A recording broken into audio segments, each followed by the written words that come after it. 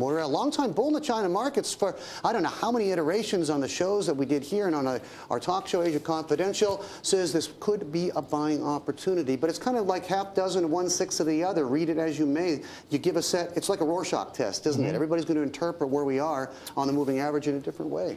Well, here's the deal. On 200-day moving averages, they're important because people think they're important.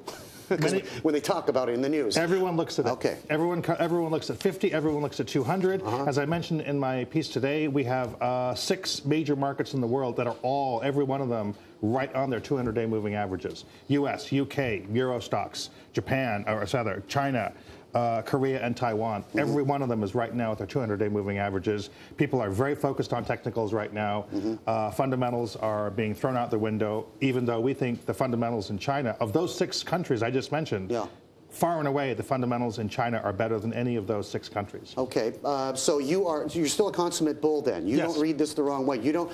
I mean, even you write that you know uh, the, the, the, the next few days are very very important. Yes. If we don't hold these levels, we could fall off the cliff a little bit. But then what? How do you translate that? And that means oh great, I hope it does that because they're even cheaper, and then we can snap up bigger board lots of all this stuff.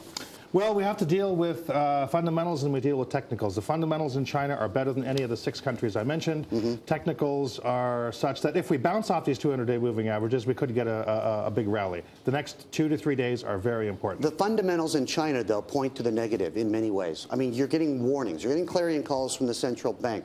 There's already talk that they've already lent more in the first couple weeks than they were supposed to do in all of 2010, if you believe the parameters of the people who have oversight on the banks. There seems to be this very, very hardcore concern, concern that things have completely gotten out of whack and they're way behind the curve on controlling uh, what may be spiraling inflation down the line. It's something that might rear its head. Yes, no? Spiraling inflation, which is a whole zero. uh, I said know. down the road. We're not at that fork yet. PPI, which is minus five. Uh -huh. you know? Uh-huh. so, so in that sense, uh, what, we look, what we're looking at here is, you're right, future expectations of, I think they're focusing on asset growth, not CPI or PPI. So, so in that sense, that's a very fair comment that, that asset prices are a concern. China is trying to control the pace of lending. It is not trying to control the amount of lending. That mm -hmm. is what we are very clearly being given as a signal by the government. It is not the amount of, mm -hmm. of, of debt.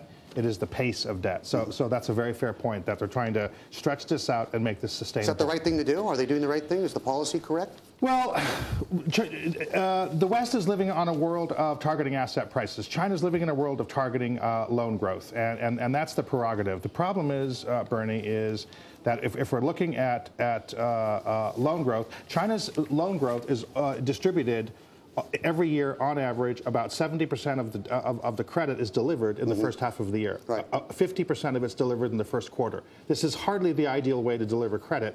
This is the system. Okay. We're going to talk this, and you know what we're going to do? We're going to do something very novel on the program right after the break. You know what that is? You're going to beat me up. No. No, of course. I love you. we are going to show people what a 200-day moving average line graphic looks like.